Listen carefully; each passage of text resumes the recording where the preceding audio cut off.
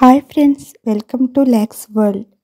ఈరోజు చట్పటా రెసిపీ వచ్చేసి వేల్పూరి దీన్ని ముంత మసాలా అని కూడా అంటారండి. దీన్ని స్ట్రీట్ స్టైల్లో మనం ఇంట్లోనే ఎలా చేసుకోవాలో చూద్దామండి. రెండు కప్పులు మరమరాలు సన్నగా తరిగిన ఒక చిన్న ఉల్లిగడ్డను తీసుకుంటున్నానండి. ఆ తర్వాత సన్నగా తరిగిన ఒక టమాటా కూడా వేసుకుంటున్నాను. ఈ మరమరాలని కొంతమంది బొంగు బియ్యం అని కూడా అంటారండి. ఇప్పుడు దాంట్లోకే సన్నగా తురుముకున్న క్యారెట్ ఒక పచ్చిమిర్చిని కూడా సన్నగా తరిగి వేసుకున్నాను. ఇప్పుడు కొత్తిమీర కూడా వేసుకుంటున్నానండి. సన్నగా తరిగింది. చెనక్కాయని ఒక చుక్క నూనె వేసేసి వేయించి తీసుకుంటున్నానండి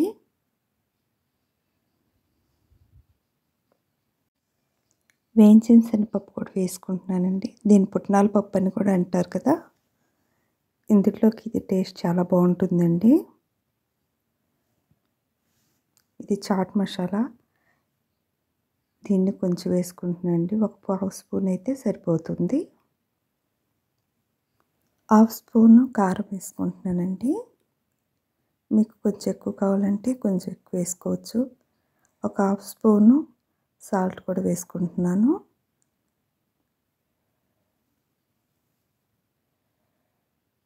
మిక్చర్ వేస్తున్నానండి కొంచెం. లేదా సన్న కారపూస కూడా వేసుకోవచ్చు.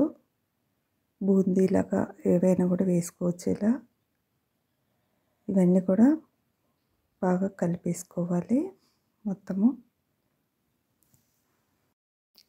పిల్లలు స్కూల్ నుంచి వచ్చేసరికి ఈవినింగ్ స్నాక్స్ లాగా ఇలా చేసి పెడితే పిల్లలు చాలా ఇష్టంగా తింటారండి. బయట దొరికే వాటికంటే ఇది హెల్తీ కదా. ఇప్పుడు నిమ్మకాయని సగం తీసుకొని ఇందులో పిండుకోవాలండి. రెండు కప్పులు కాబట్టి సగం నిమ్మకాయ సరిపోతుంది.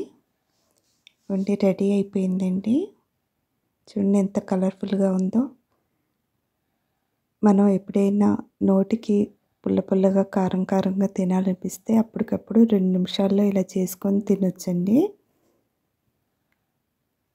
బయట చేసే బేల్పూరిని ఇలా ఇంట్లో చేసుకొని తింటే హెల్త్ కూడా చాలా మంచిదండి.